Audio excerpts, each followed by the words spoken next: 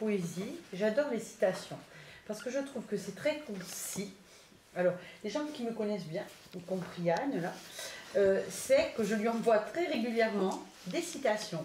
Ce sont des choses qui me parlent beaucoup parce que, alors moi, à la différence de Bénédicte, je ne sais pas, peut-être euh, la culture du zapping ou du raccourci, je ne sais pas, je me retrouve, euh, les choses me parlent quand elles sont concises et compactes. Donc une citation, pour moi, ça me parle beaucoup. Ça, exprime euh, beaucoup euh, de texte. Une poésie aussi, mais quand elle est courte, quand elle est trop longue, je m'y perds. Mais bon, c'est personnel, ça me regarde, c'est comme ça, voilà. Alors j'aime beaucoup les poésies et je rejoins aussi Joël qui dit que j'ai des livres de poésie pour enfants, mais je les trouve, euh, la poésie finalement, c'est pas des... La poésie n'est pas faite forcément que pour les enfants. Là, alors j'ai des petits recueils.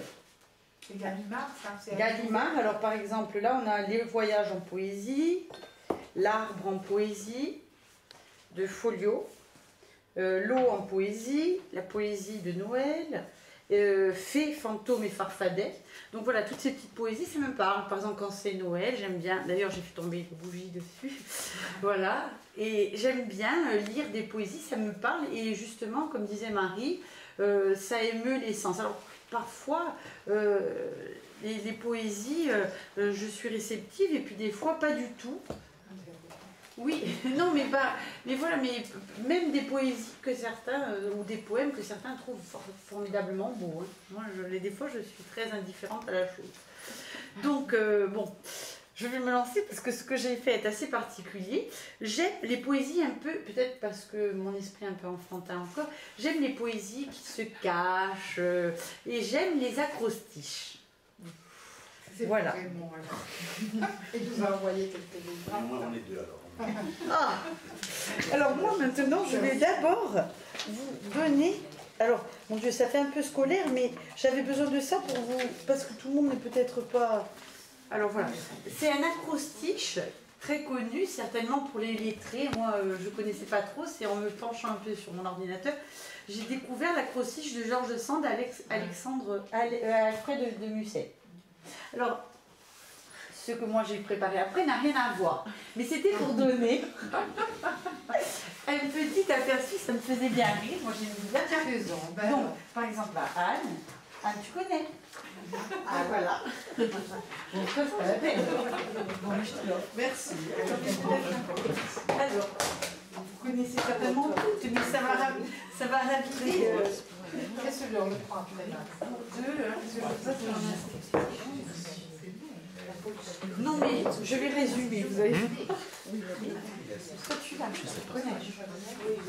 Bon, ben, Merci. Euh.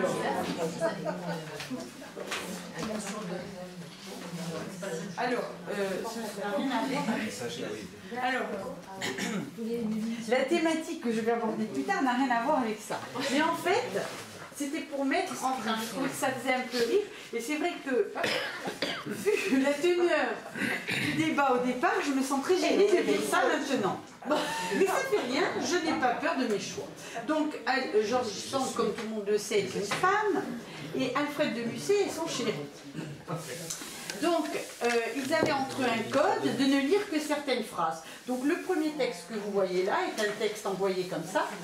Et le deuxième texte que vous prenez derrière sont les phrases à lire, mais uniquement en gras. Donc, le premier texte, je vous l'épargne, vous le lirez chez vous. Le deuxième texte, je le lis. Cher ami, je suis tout émue de vous dire que j'ai toujours une envie folle de me faire baiser et je voudrais bien que ce soit par vous. Je suis prête à montrer mon cul. Et si vous. Non, mais si vous voyez comme c'est bien fait. Non, mais écoutez, il faut, il faut que la poésie ne soit pas forcément que sérieuse. euh, voilà, je continue. Et si vous voulez me voir ainsi toute nue, daignez me faire visite.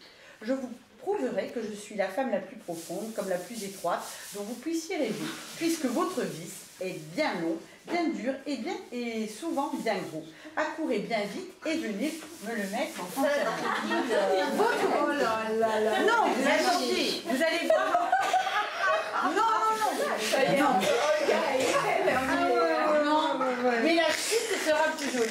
plus délicate. Ça n'a rien à voir. Donc, Alfred de Musset. Mais c'est pas mal. Alors, mais c'est pas mal fait. Vous verrez comme c'est bien. Alors, Alfred de Musset, Alfred de Musset répond vous voulez que je couche avec vous Donc, il ne faut prendre pour cet acrostiche que les premiers mots. Et Georges Sand lui répond cette nuit.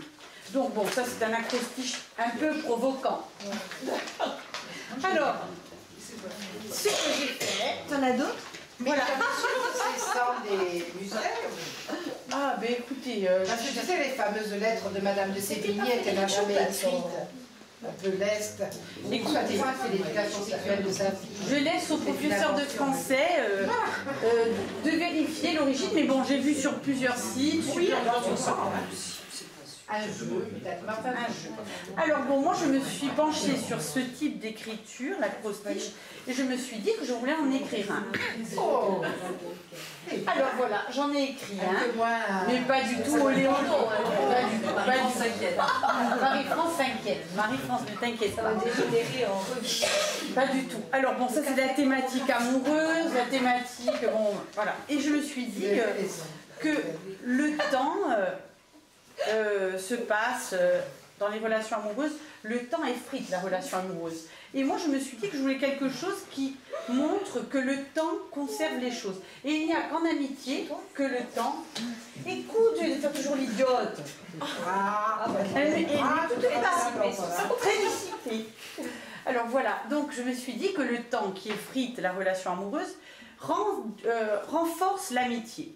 Et je me suis dit que pour une fois que j'essayais de faire de la poésie, j'allais la faire pour une personne que j'apprécie beaucoup. Donc pour rendre vivante euh, mon petit travail. Donc, mais là je suis très embarrassée parce qu'avec des poètes et tout, ce que j'ai fait, c'est tellement naïf. Ça n'a rien à Ils ne voir. peuvent qu'être jaloux. Eh ben, Alors non, je vais la distribuer à tout le monde. Non, après.